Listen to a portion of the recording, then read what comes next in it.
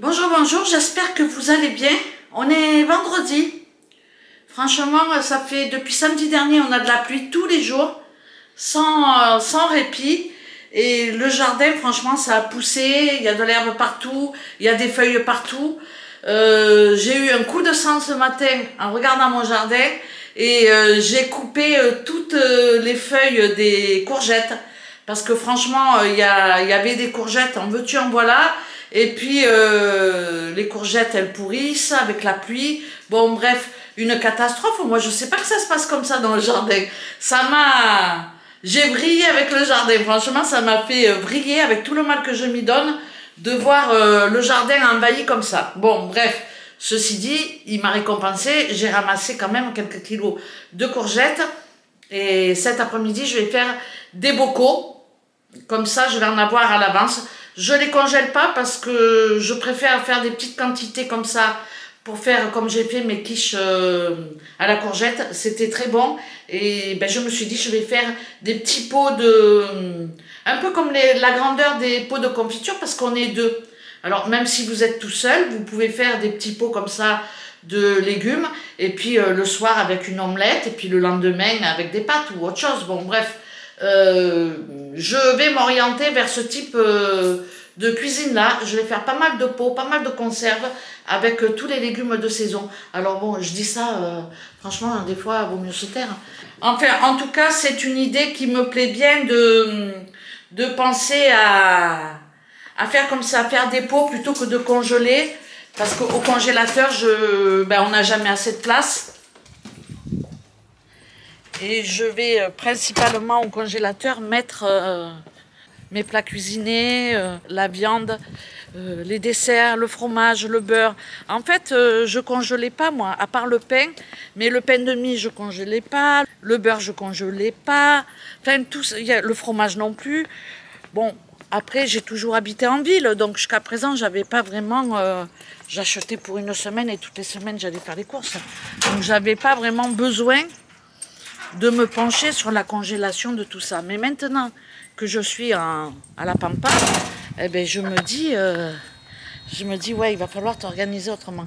Alors, c'est dommage, j'ai pas pris la caméra avant parce que j'ai eu un coup, comme je vous dis, j'ai eu un coup de sang ce matin et euh, j'ai commencé à couper toutes les feuilles de mes courgettes. Alors, je me dis, je sais pas si je fais bien ou pas, mais bon, c'est pas grave, tant pis, hein, c'est comme ça, hein. c'est la vie. Hein. Mais euh, quoi qu'il en soit, je suis contente parce que j'y vois plus clair dans le jardin.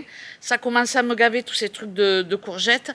Et puis, et euh, bon, euh, faut dire qu'on en a mangé pas mal. J'ai fait pas mal de conserves de courgettes, juste de l'huile d'olive, du sel, du poivre. Qu'est-ce que j'ai mis d'autre? Je me rappelle déjà plus. De l'ail, on peut mettre de l'oignon, mais moi je mets que de l'ail. Et, euh, et, puis voilà, je fais stériliser et après je les conserve. C'est la première fois que je fais ça. Je vais voir combien de temps je vais les, les conserver et voir si ça se conserve bien. Si je vois que quand j'ouvre le pot, ben, euh, à l'odeur on le sent et quand ça a tourné, eh ben voilà, l'année prochaine je ferai différemment. Bon, c'est chez moi la parole. je vous montre mon jardin. J'ai recoupé les poireaux parce qu'il y en a une d'entre vous qui m'a dit pas coupé assez, mais en fait ils ont vachement poussé depuis. Donc j'ai recoupé encore. Les courgettes, eh ben, j'ai éclairci franchement parce que je pense que ce qui grimpe là, autour de mes petits piquets, c'est des concombres. Alors je pense qu'ils vont tomber avec le poids, hein, parce que mes piquets, euh, c'est guinguette alouette. bon bref.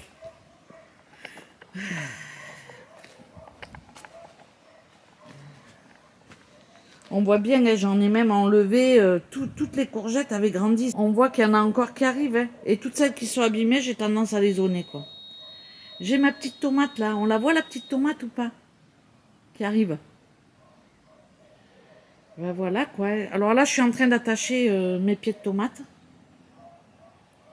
En espérant qu'il pleuve pas quoi.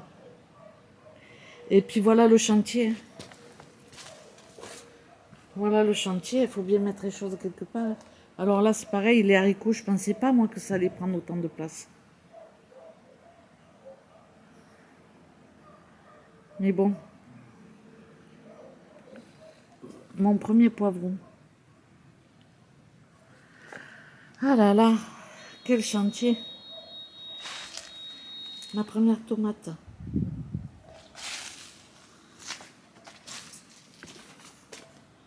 Voilà, les tomates, elles arrivent, je ne m'inquiète pas, il va y en avoir suffisamment pour nous deux. Hein. Bon, franchement, ça va très très vite. Ça fait flipper le jardin tellement que ça va vite. Et ben là, aujourd'hui, je vais ramasser quelques haricots parce que j'ai vu qu'il y en avait déjà des pas trop mal. Et je vais tout de suite euh, les, euh, les, blanchir et les congeler parce que j'aurai pas le temps de faire autre chose. Pas le temps Mais pourquoi? Alors, j'aurai pas le temps parce qu'à partir de demain, je ne suis plus ici. Je suis à l'appartement. Donc il faut que je ramasse euh, ben, le plus possible euh, ben, les haricots, euh, tout ce que je peux. Donc je ne vais pas vous blablater davantage, juste je vous montrerai ma petite récolte dans cette vidéo. Donc voilà, je pars pour 10 jours, enfin je pars demain, demain on est le 25 et je reviendrai ici le 5 ou 6, je sais plus. Donc ça va me faire énormément euh, de, bien. Je vais m'asseoir. Je peux pas me mettre dans le hamac, il est trempé. Voilà, c'est pas mieux. Hein. Juste, euh, ben, je tenais à faire cette vidéo parce que comme je vais être absente pendant euh, une dizaine de jours, je vais pas prendre ni mon PC avec moi, ni ma caméra, rien quoi. Donc forcément, vous n'allez pas avoir de vidéo je vous reprends en même temps comme ça parce que putain, j'ai des mains dégueulasses, pleines de terre. Je m'étais fait les ongles hier. J'ai mis que du transparent, encore heureux, mais putain, on voit les ongles noirs de la, de la jardinière ou pas? C'est comme ça qu'on dit la jardinière? Bon, bref, hein, euh, j'ai mes gants, je les mets pas, c'est de ma faute. Bon, ça y est, je suis partie sur autre chose, c'est dégueulasse. Bon, en tout cas, euh, où t'étais? Où t'étais?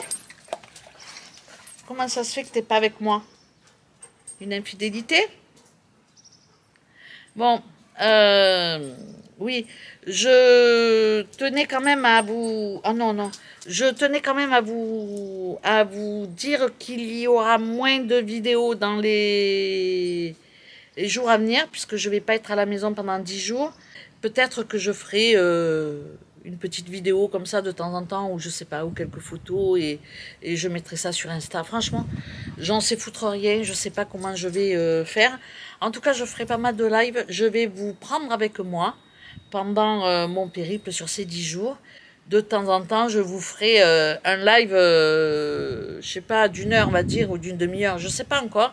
Mais en tout cas, il y aura beaucoup de live dans les 10 jours à venir, et pas de vidéo, ou très peu, Hein, voilà. En tout cas, je vais essayer de faire euh, le maximum pour euh, ben, les vidéos. C'est pas grave si j'en fais pas. C'est pas. Mais par contre, euh, ben, vous partagez un petit peu. Je sais qu'il y en a quelques-unes qui aiment bien quand je vous prends comme ça en vadrouille et que je, je passe un moment avec vous parce que déjà ben, euh, vous, euh, vous parlez entre vous aussi sur le, sur le chat. Et moi, je trouve ça plutôt sympa. Je retrouve ça parfois en commentaire.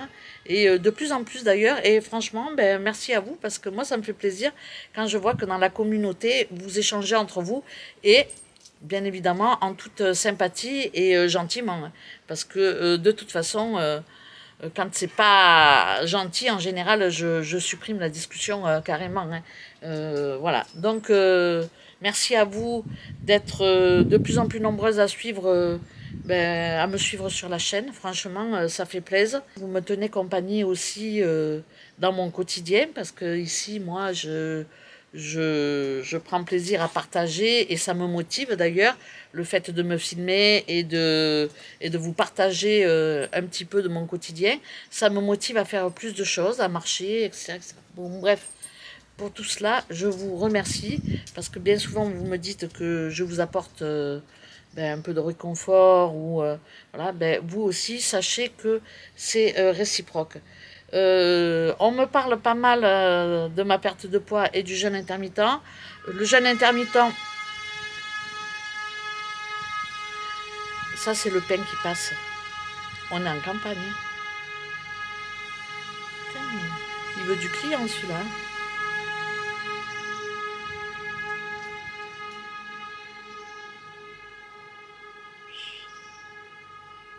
Vous êtes quelques-unes à me demander un petit peu où j'en suis au niveau de mon poids, du jeûne intermittent, etc. etc.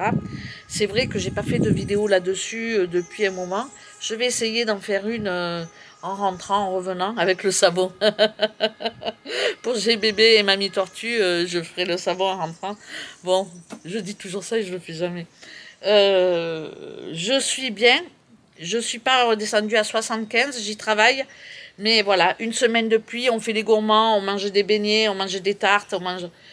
Et puis euh, voilà, ça part en cacahuète. Donc je suis toujours entre 75 et 76 kilos. Je me pèse tous les matins. Ce matin, j'étais à euh, 75,8. Euh, voilà, je perds pas des trucs. Je perds pas je perds pas comme ça, hein, parce que je me prie pas non plus. Hein. Mais petit à petit, euh, voilà, le jeûne intermittent, il me maintient quand même bien. Donc pour celles qui veulent euh, pas prendre de poids et se maintenir à un poids, essayez de vous mettre euh, à la diète au moins pendant 12 heures. Alors quand vous prenez des traitements, il faut pas faire des jeûnes de 16 heures. Mais si vous prenez des traitements, vous pouvez faire des jeûnes de 12 heures.